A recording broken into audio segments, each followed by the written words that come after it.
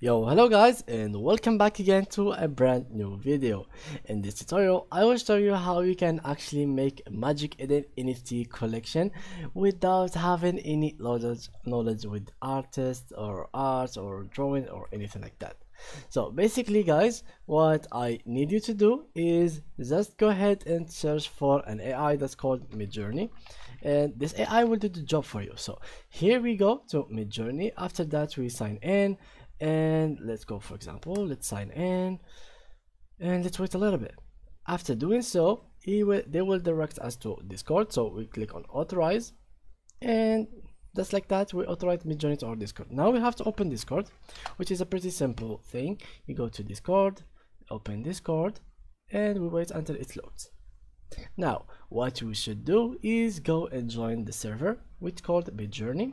So we wait until our discord opens and we will join simply the server. So here we go.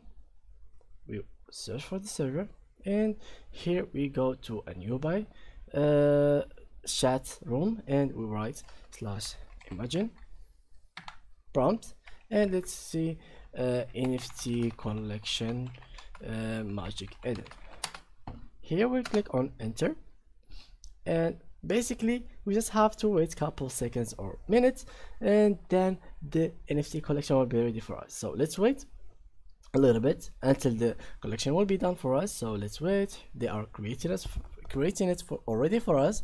So here it is. Uh, let's wait. Let's wait for it.